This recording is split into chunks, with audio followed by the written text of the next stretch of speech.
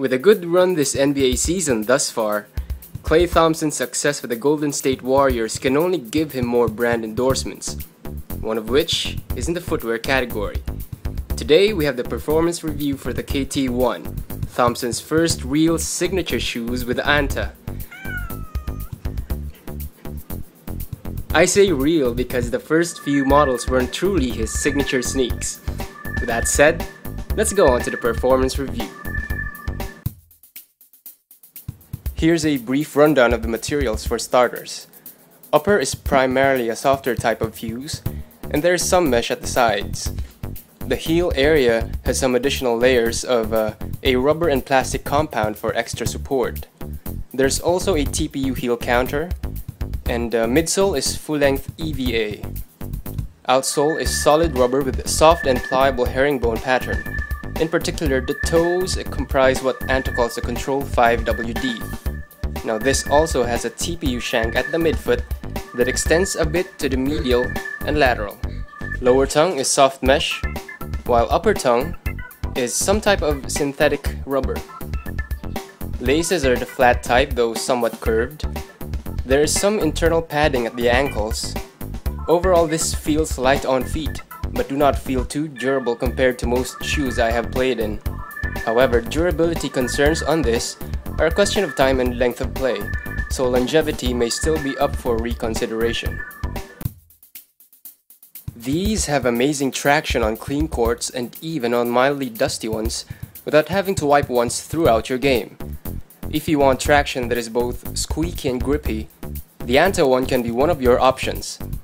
Now the excellent traction is the result of the combination of the rubber compound, aggressive herringbone pattern, and pliable treads.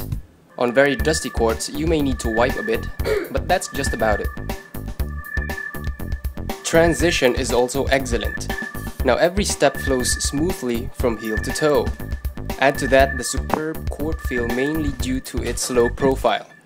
To a certain extent, the Control 5 WD gives extra control at the toes during turns and push-offs, but it's not really too noticeable, especially if you are too busy minding your game instead of the shoes.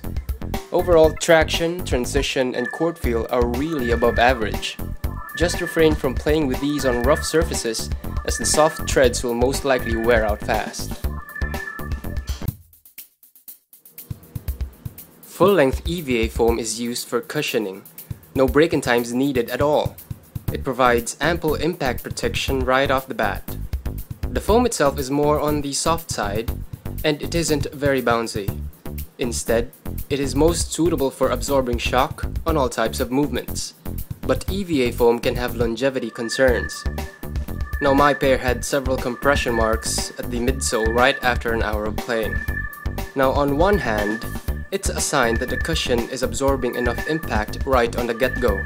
On the other hand, the quick compression is also a sign that the EVA foam is quicker to bottom out than other types of foam that are on the stiff side. Heavy hoopers may not enjoy the cushion too much, but lighter players may find the Anta KT1 as having a rather softer ride that is forgiving on the knees. This also features a removable EVA insole for step-in comfort. Nothing fancy there, but it works. In sum, the cushioning is more guard-oriented, and it is between average to a little above average in terms of performance. I normally wear a size 11, but I was only able to pick up a size 10, since it was the largest size available on release day. Surprisingly, the size 10 didn't feel too tight once I laced up my pair for court play. In fact, it just felt right and comfortable even after I laced all the way to the top lace hole. I could have opted for a 10.5 had it been available, and everything would have been perfect. So I suggest going a half size down at least. The lacing system is pretty much basic. Overall, the laces pull the fuse material at both lateral and medial closer to your feet, thus giving you adequate containment at the midfoot. Also, there are cutaways at the ankle and midfoot for added flexibility during forward movements. This has small windows at the sides of the mesh upper for breathability. In essence, ventilation is average. The windows allow some heat to escape, particularly the heat that the main fuse type upper material traps. Overall, the fit can be a hit or miss if you don't figure out the size that suits you most.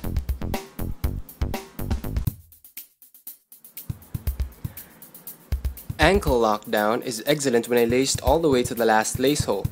Now it can restrict range of motion, but personally I liked the feel and setup of it. Now if you're looking for mobility at the ankle area, the most that you can do is to leave the last lace hole, perhaps even the last two ones, or I suggest to try to look for other low top shoes. But if you like ankle restriction without discomfort, the Anta KT1 is a viable option.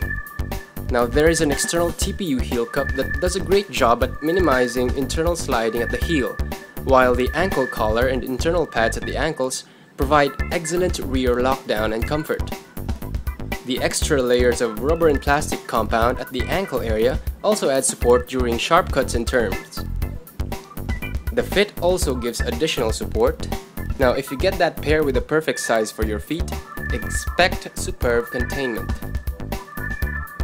The outrigger, however, seemed pretty useless because it bends very easily. While it really protrudes, it nevertheless flexes noticeably during turns, especially sharp angled ones. Good thing that the base of the forefoot is wide. There is also a TPU shank at the midfoot that doubles as medial and lateral posts for extra protection against skidding off the footbed. In sum, the Anta KT1 gives really good support, particularly for guard-type players. The Anta KT1 does feel like it has cheap materials, but make no mistake, it is a serious contender for being one of the top go-to shoes for hooping within its price range, at least for me. I wasn't really expecting much at first, but I was eventually converted, especially considering the materials used. They're not top of the line, but they get most of the job done quite efficiently. Well, maybe except for durability. That much I can concede, although that is still wide open for reconsideration at this point.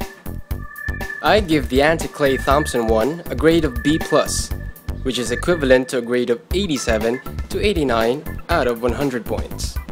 Thanks for watching!